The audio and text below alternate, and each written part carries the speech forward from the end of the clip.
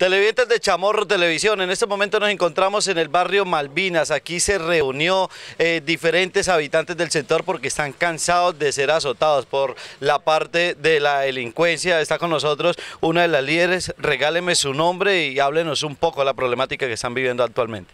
Ah, sí, muy amable. Muchísimas gracias a usted, Manuel, por haber recibido y venir aquí a nuestro barrio Malvinas. Soy la vicepresidenta del barrio Malvinas. Muy amables. Sí, desafortunadamente estamos, estamos como muy... Eh, asustados, pues la comunidad, y nos vemos inseguros por aquella delincuencia, que ya no podemos traer a ninguno aquí a hacer cosas por el barrio porque todas las veces han sido atracados. Vino la, la volqueta a arreglar la calle, fue atracada. Vino la rescabadora, fue atracada. En los líderes comunales, allí el señor del comité fue atracado también. Ayer, desafortunadamente, también fue atracado el señor Fabricio, que es uno de los líderes que tiene la fundación donde le dan comida más o menos a 250 niños, les da el almuerzo. Y me parece tan inaudito que le tiren a una persona que ayuda a, una comunidad, a los mismos hijos que son, pueden ser hijos de ellos mismos de aquella delincuencia. Me parece también terrible que nosotros, la comunidad, nos den miedo denunciar. Yo siempre he dicho, Marina Quintero, que es la mujer que más pelea por el barrio Malvinas, dice es, debemos denunciar. La gente dice, pero ¿por qué denunciamos si las personas no caen? Las personas, mira, tenemos el espejo de dos personas que ya cayeron a la cárcel. No tenían denuncias y ahorita que volvieron a caer, habían siete denuncias contra ellos, allí están. Tenemos que denunciar, eso es como el pollito, en granito en granito se va llenando el buche y luego caen allí. Denunciemos, por Bueno, vicepresidenta, la vemos a usted con chaleco, ha sido amenazada eh, de muerte, creo, si no estoy mal, le rayaron su vivienda hace un par de años eh, eh, con mensajes en contra de su humanidad.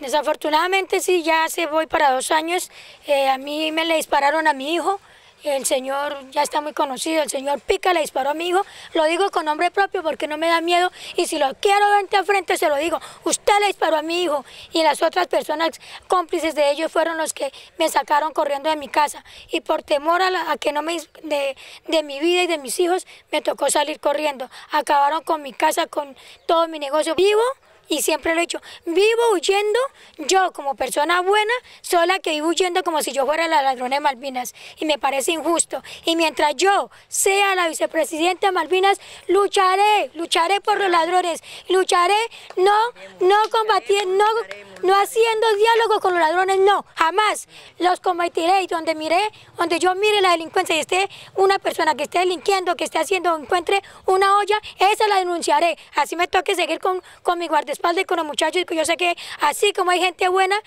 también como hay gente mala, vemos gente muy buena que queremos el cambio de Malvinas. Bueno, muchísimas gracias, vicepresidente.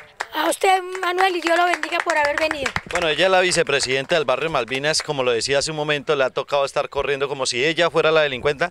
La delincuencia, eh, delincuente, perdón, eh, está también con nosotros uno de los líderes. Regáleme su nombre y cuéntenos la situación que viene usted en este punto de Villavicencio. Realmente queremos el desarrollo de Malvinas, pero no hemos logrado tener esa confianza que queremos nosotros de la institucionalidad. Hay que decirle, ¿Qué hay que decirle al comandante de la policía que recibe el día de hoy como nuevo comandante de la ciudad y al mismo alcalde Wilmar Barbosa? Eh, mayor atención para nuestro barrio necesitamos mayor atención para nuestro barrio, resultados, necesitamos resultados, ¿sí? Porque hay denuncias, ya hay denuncias, antes nos pedían denuncias, las denuncias ya las tenemos, se fueron recogidas, nosotros como directivos hemos recogido las denuncias y las hemos recopilado, pero es que nosotros no, es nuestro trabajo, el trabajo es de la Fiscalía, la Fiscalía tiene que recopilar barrio por barrio qué es lo que está pasando en cada barrio y asumir la responsabilidad como, como ente que le corresponde. Bueno, muchísimas gracias.